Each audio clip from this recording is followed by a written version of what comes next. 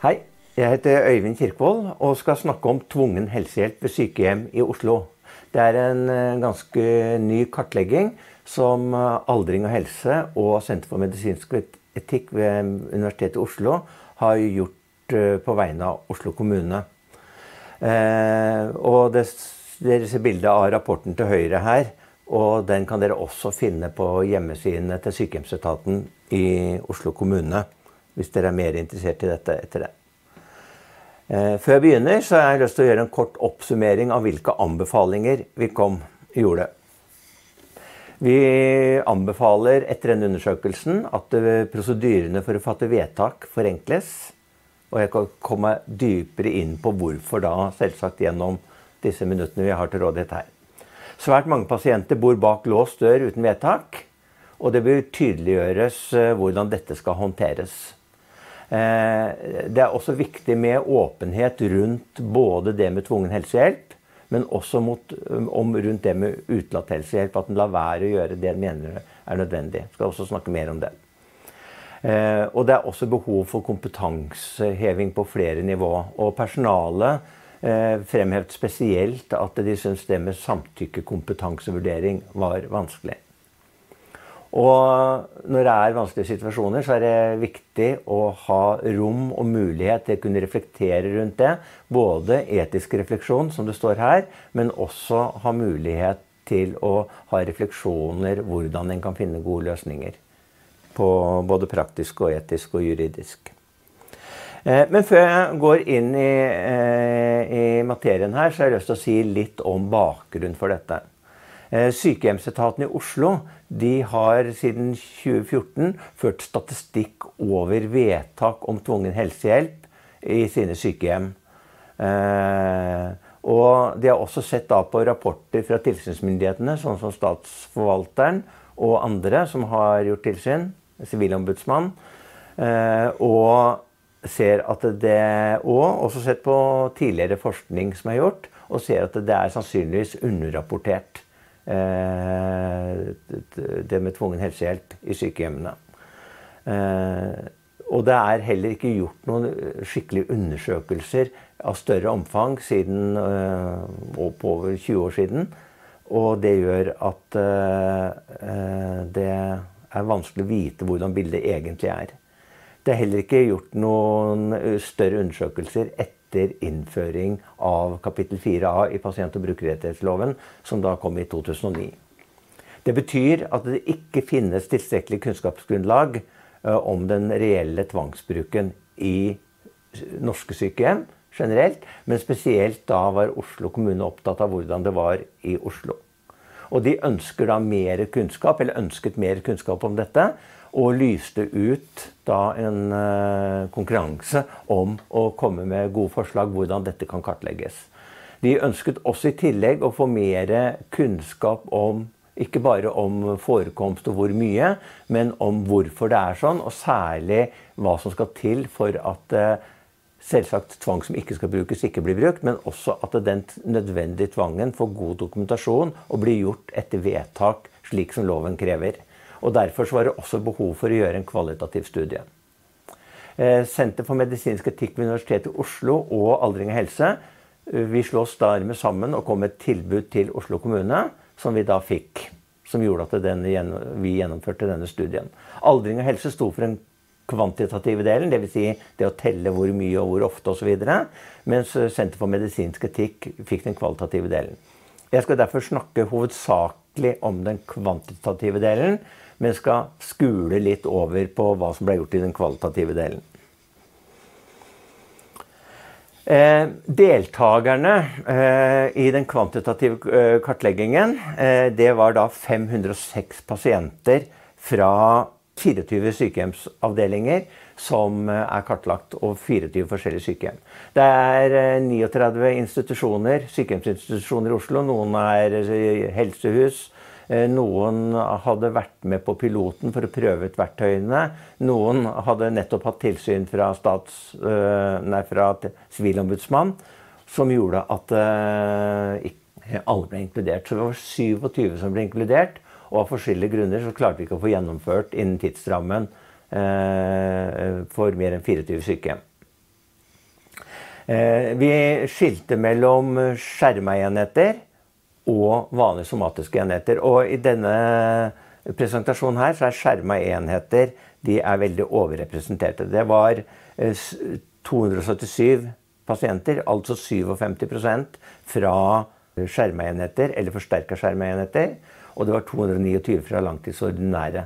Og det er jo skeivt, fordi 25% av plassene er på skjermenheter, mens 75% er på somatiske. Og her var jo da 45 fra somatiske, 45 og 57% fra skjerma. Og det gjør at eh, når vi skal se på resultatene, så må vi vekte det. For det er veldig forskjell i resultatene fra disse avdelingstypene. Men det skal jeg prøve å, å peke på etter hvert. Eh, dette bildet her, det viser datainnsamlingen. Og datainnsamlingen var slik at når vi kom den kvantitative, når vi kom på sykehjemmene, så satte vi ned sammen med personalet på avdelingen. Alt personalet på morgenen når vi begynte. Og så gikk vi gjennom alle pasientene. Og så spurte vi om pasienten i løpet av siste uke hadde hatt episoder hvor den hadde motsatt seg helsehjelp. Og hadde den motsatt seg helsehjelp, så skulle vi gå videre. Hadde den ikke episode med motsatt helsehjelp, så ble den lagt til side. Eh, så kan det være det at eh, den som hadde motsatt helsehjelp, at eh, en da hadde forsøkt med tillitsskapende tiltak, som også loven krever, og nådd fram helt med det uten at en da trang å gjøre noen andre tiltak. Da ble det bare registrert at en nådde fram med tillitsskapende tiltak. Hvis en hadde minst en episode der en da gjennomførte helsehjelpen til tross for pasientens motstand, så gikk vi mer inn i hvorfor og hvordan dette ble gjort. Eller hvis det var sånn at det hadde ført til at pasienten da fikk, eh, ikke fikk den helsehjelpen som helsepersonellet mente at den burde ha, så ble det registrert som utelatt helsehjelp. Eh, som dere ser da i den eh, pila ned her. Og dette gjorde det at for de som da viste motstand mot helsehjelp, så var det ganske omfattende mengder skjemaer, som dere ser kommer her sånn, da. En rekke skjemaer som ble fylt ut på de pasientene det gjaldt. Så vi har ganske stort datamateriale som vi har bearbeida. Ja, det bildet her det er da altså hovedfunnene i den kvantitative studien. Det er andel av pasienter med tvungen helsehjelp eller utelatt helsehjelp, og om de har vedtak eller ikke, og om de gjør motstand eller ikke. Og som dere ser her, på den andre linja, så er det i vårt materiale, der det står total, så er det 41% av pasientene som motsetter seg helsehjelpen minst én gang i uka. Men siden det da må vektes, som jeg sa, så er det da 35% i den vekta for at det er 50% i skjermenheter og 30% i langtidsenheter, som dere ser her. Eh, og så ser dere det at 37% av pasientene i vårt materiale eh, totalt, der var det eh, tillitsskapende tiltak. Men det var ikke alle disse som nådde fram. Så mange av de som har tillitsskapende tiltak, var det også nødvendig med enkeltepisoder med tvungen helsehjelp, eller det ble utelatt. Det skal jeg komme til, litt tilbake til. Så ser en også det at eh, pasienter med tvungen helsehjelp her sånn, det er 8,9% Eller hvis en vekter da for at det er mye hyppigere på skjermenheter, så blir det litt lavere. 6,7% Og pasienter med utelatt helsehjelp pga. motstand, det var da 10,9% av pasientene som ikke fikk den hjelp de skulle ha men her ser dere at det stiger når en vekter. Og det er fordi at det med utelatt helsehjelp var langt vanligere på langtidsordinær enn på skjerma enheter. Eh, og så ser dere det her at 8,9 hvis vi ser på totallinja, 8,9% av pasientene de var utsatt for minst ett tvangstiltak. Og ser dere på den øverste linja her, så ser dere at 7,9% av pasientene de har faktisk vedtak. Og det vil si det at de som kunne se ut som her, er at de som har, er utsatt for tvungen helsehjelp, nesten alle har vedtak. Men sånn er det ikke, og det skal vi komme tilbake til. Men før vi kommer tilbake på det, så har jeg lyst til å si litt mer om de som har motstand mot helsehjelp. Som dere ser på det bildet som popper opp her oppå denne tabellen her, så var det 41% ca. som motsatte seg helsehjelp. Og hvis vi deler opp de 41% så er det 23% av totalmaterialet som har eh, tillitsskapende tiltak. Det vil Si at det, det var 37 på forbildet, men det vil si at der nådde den ikke fram. Men med 23% av pasientene så nådde den fram med tillitsskapende tiltak. Og så ser dere at 9% er da tvungen helsehjelp, som vi har snakka om. 8,9% Og ca. 11% har utelatt helsehjelp. Men og Hvis dere summerer de prosentene, så får dere ikke 41. og Det er pga. at det er litt overlapp mellom tvungen helsehjelp og utelatt Noen ganger så brukte den da tvang på en pasient, og så andre ganger så lot den bare være å gjøre det. Så dette her er hovedfunnet. da. Og hvis en skal si hvor mye tvungen helsehjelp Ca. 9% av pasientene som vi målte i Oslo kommune, er utsatt for eh, tvungen helsehjelp. Men vekter vi det, så er det da ca. 7 og ca. 11% fikk da ble det utelatt helsehjelp pga. motstand. Og vekter vi det, så er det godt over 13% Så det kan på en måte si er hovedfunnet, sammen med at eh, over 40 motsetter seg eh, helsehjelpen. Her ser dere vedtak i kapittel 4a. Og som dere ser her, så er den ringen til venstre det er de som har vedtak. Og det var 40 pasienter som hadde vedtak. Og de hadde da 41 vedtak, så det var to vedtak på én pasient.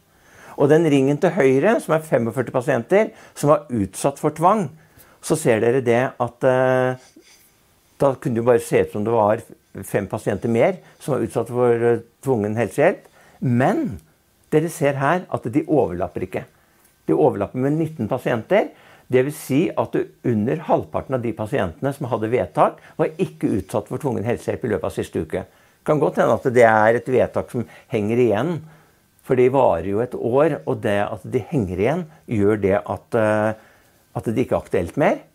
Eller det kan være det at de har klart å løse det på en eller annen måte denne uka, mens neste uke så blir det nødvendig med tvang igjen. Det vet vi jo ikke. Men så ser vi at godt under halvparten av de 45 pasientene, altså 19 av 45, eh, har vedtak. Så 26 av 45 pasienter som fikk tvungen helsehjelp i vårt materiale, hadde ikke vedtak. Hvis vi slår sammen disse to gruppene, så blir det jo det at eh, hadde vedtak, eller det var gjennomført eh, tvungen helsehjelp, så var jo det da 13,4% av vårt materiale. Så da blir jo tallene litt høyere. Her sånn så ser dere kategorier tvungen helsehjelp. Og som dere ser, så var det stell, pleie eller andre hygienetiltak som var langt det eh, hyppigste tiltaket. 60% av tiltakene eh, var av det. Og her er det også overlapping, så summen blir mer enn eh, 100. Eh, og dette står i motsetning til det vi fant tidligere. For uh, ca. 20 år siden ble det gjort en stor landsdekkende kartlegging om tvang i sykehjem. Og da var det med Eh, til, eh, dette med tiltak som hindrer bevegelse. og Det står her da tredje nederst. Mekaniske eller fysiske begrensninger. F.eks. buksedress eller sele eller se, i, i, seng eller stol.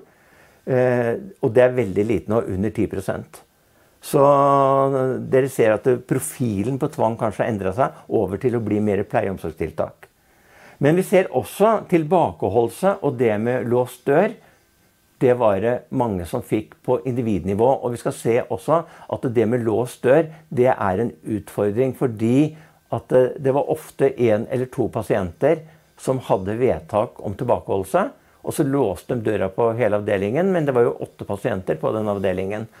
Og det er veldig uklart, og det kom også fram i de kvalitative studiene, hvordan de håndterte fri utgang for de som ikke hadde vedtak, men som var på en avdeling med låst dør. Og Derfor var det en av de tingene vi anbefalte at en bør se nærmere på.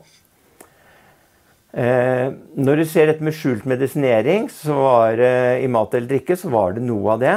Og det var også én eh, eller to tilfeller med diagnostikk eller behandling som ble gjort. Da det kunne være et sårskifte eller en undersøkelse som ble gjort med motstand fra pasienten. Eh, så altså tvungen helsehjelp samlet for sykehjem i Oslo, så har vi noen konklusjoner her. Hos 78% av pasientene som fikk tvungen helsehjelp, var helsehjelpen andre, annet tiltak enn låst dør. Og vi har skilt ut låst dør, for det er nesten umulig å regne om det til episode. For den var jo låst hele tida. Det var ikke episoder med låst dør. Men for hele sykehjemspopulasjonen i Oslo så var det da 156 pasienter, utenom de som da hadde, var registrert med låst dør som tiltak. Og det var 14 nei, 44 pasienter. Hvis vi regner om til hele sykehjemspopulasjonen, så vil det si at det var 200 pasienter som var utsatt for tvang i Oslo kommune i løpet av en uke på sykehjemmene. Eh, I gjennomsnitt så var det 10,2 episoder per pasient som fikk tvungen helsehjelp.